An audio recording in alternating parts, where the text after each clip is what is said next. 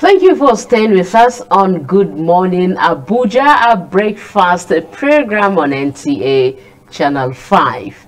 On our second conversation this morning, we shall be looking at marital issues. And uh, Coach Sophia Kasim is here to tell us more on uh, what to do and what not to do in order to get it right. Uh, join me as I welcome Coach Sophia Kasim to the program. Good morning, Ma. Good morning. Good to have you here. Thanks for having me. You're looking radiant. Thank you. All right. Um, our topic says ways to fix marital incompatibility. okay. Yes. So before we look at the ways of fixing marital incompatibility, uh, what are actually the causes of marital incompatibility? okay. Before we go into the courses, I would like to uh, talk a little bit about uh, marital incompatibility. Marital incompatibility is the inability of a couple to reach a common ground as to how they want to run their marriages. It is the inability of a couple to live together in peace and harmony. It is a situation where couple live exclusively of each other, exclusively of each other, without having marital common marital goals. Okay. And this could lead to uh, toxicity, it could lead to disunity and uh, infidelity, and in worst cases, domestic violence and, uh, of course, divorce. Okay. Yes. Now, let's look at the causes of marital incompatibility. We have poor communication skills, we have um, lack of sexual compatibility, and we have um, a poor management of time between uh, personal pursuits and the marriage. That we have um, not uh, deciding uh, the number of children Um, talk about incompatibility and the causes based on what you just enumerated. You know, before you get into, you know, marriage or we we we agree to marry, of course, uh, you know, some of this thread must have maybe uh, uh, shown or, or was visible for you to see before agreeing to marry your partner. But why is it that um, is becoming obvious when after marriage?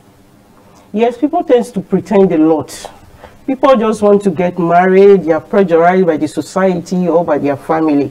So they just want to be Mrs. Mr., not minding the consequences of, you know, not uh, taking into consideration the red flags that we noticed during the courtship. So those red flags that were noticed during courtship, uh, w- w- are they not really too obvious for somebody to say, no, no, no, no, no, no, I won't, I cannot just spend the rest of my life with this man or this woman? People have issues differentiating the purpose of their going into marriage. Okay. They say when the purpose of a thing is not known, mm. abuse and misuse is inevitable. Mm. So people see red flags and they are carried away by the butterflies and the emotion. And I tell couple or to would be couple that when you want to make your choices, you make your choices based on your values, your principles, and your standard. You don't make your choices based on feeling, mm. feelings and emotions. Emotions. Emotions will frustrate you, emotions will come and go, they are not stable. So when you are choosing a spouse or you are making your choice, make your choices based on standard values and principles and not emotional feelings. Because the emotional feelings, of course, uh, Yes, uh, you know, you want to catch all the butterflies. that moment you are just thinking of the man, the lady, you Yeah. can't concentrate. No, you try to just draw the, the line between, you know, make your choices based on the reality that what values does this person have on your value and see if they align with, with your, your values. With your couple or to be uh, spouses uh, value to make a choice and not on emotions. Emotions will come and will go. That's why when people get married, at some point in their marriages, they will not feel like ah I'm tired. like really tired they are they, they, they are they are frustrated they are, they are not like why did i even marry this person what was i thinking how did i get myself here but at that point they were making those choices they made those choices based on their emotions you know before marriage we have what we call emotional feeling So now, what do we really look out for for a compatible partner? You know, for you to know that this partner, I'm compatible with this partner. I'm not compatible with this. Marriage is compromise, is you know you making adjustments, you making sacrifices. But be sure there's a person I want to make those adjustments for. There's a person uh, that have the same value, we share the same values. I saw somebody that complain about uh, why would people marry couple want to have children that children are such a problem they are so you know they are so much stress. So if you as a couple or as a would-be couple want to get married you look for somebody that also share the same value with you that that have the intention of having kids kids or children in future.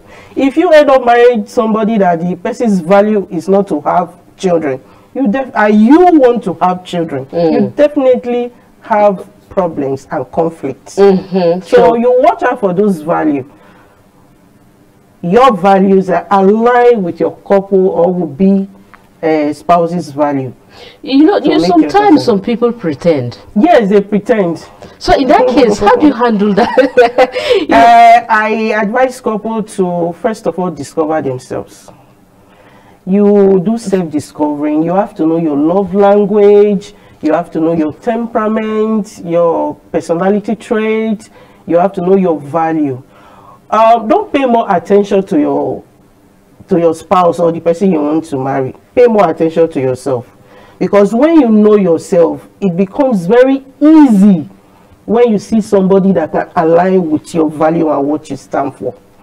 So you do self-discovering by knowing your love language, by knowing your temperament, your personality traits, by knowing your your your core value and your purpose on health. What uh, what you came to the uh, to this earth, your calling. So by the time you know all of this, you now you now be self-aware of who you are, be able to make the right choices. Um, nobody is really perfect, but when you discover um, a kind of attitude or, or, or a behavior in a man or a woman that you know you can handle or you can uh, manage, can premarital counseling help in this direction? Of course. It's, in fact, that's what we are asking people to do. Uh, it can help, yes. It baffles me when people uh, go into marriages without properly, you know, preparing, taking proper preparation before going into marriage. Um, people take courses to better their business. People take courses to better their career sport men and women when they want to go for olympics for marathon you know they they train they do other things to make other aspects of their life better and it baffles me why people don't take courses or take go to classes when you want to get married. Mm. It is very very important because you are going into a, a, a- contract or you are going to be living with another adult for the rest of your life. Mm. You have to you know know how to manage and live and cope with this person all the rest of your life. So we advise couple or would be couple to take premarital counseling courses or sessions. In fact these days we are asking mothers to go to classes or take courses on how to nurture and you know groom raise uh, well balanced children so it's also the same for couples who wants to get married So, for couples that are already, you know, in the business and they discover they are incompatible, mm. what actually can they do to remedy the situation? yes they can do what i call the 3d approach Okay. yes the 3d approach The first D is for you to decide that you want to make your marriage work. Like you are very deliberate about it, you are intentional. The second D is for you to discover discover the problem areas that you have in your marriages so that you don't sit down and say okay we are having issues here we're having conflict here we're having you know we are not compatible in this area what do we do to make it better mm -hmm. then the third d is determination you have to be resilient. You don't have to give up because marriage is teamwork and uh, you have to be intentional and deliberate. And it's a lot of hard work all right, thank you. You've spoken very well on this, and then we want you to uh, speak to Nigerians out there watching us, watching this program, uh, on how to better their homes, uh, you know, to make it heaven on earth. Okay, that's actually possible if you want to. yes. So first of all, I would advise couples to put God first. You have to put God first. You see your marriage as a covenant not just between you and your couple or your partner, yeah. but also, uh, sorry, not just between you and your partner, but also between you and God. If you do everything in marriage, knowing that you are using your marriage to worship God, you will do everything to make it work. Mm. Don't see that you are pleasing your partner, but see it as a worship and you are pleasing the Almighty. Secondly, you have to be intentional and deliberate to make your marriage work. You have to put in the work you know you have to make a little adjustment you have to make sacrifices and you you have to you know adjust a little bit and there and compromise to make it work. Then thirdly i advise couple please do not dwell on your partner's negativity. Don't dwell on the flaws. Don't dwell on the shortcomings. Don't dwell on things they are not doing right. In as far those things are not life threatening try to concentrate on what they are doing right and not what they are doing wrong because it is what you dwell in. What you give to the universe that the universe gives back to you. If you keep saying and dwelling on the negativity and the wrong things your partner is doing they will keep occurring and occurring. Okay, that's a very good one. Thank you very much, um, uh, Coach Safia Kasim. You've spoken very well on this uh, topic, and we really appreciate your insight on the program. Thank you. Thank you.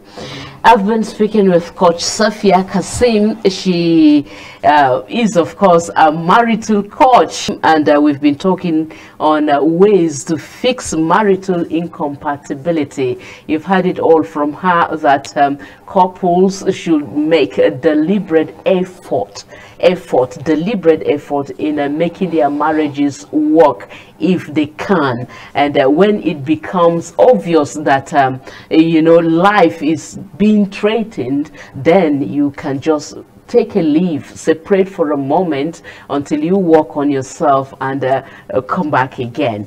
So the program is still Good Morning Abuja. It continues shortly.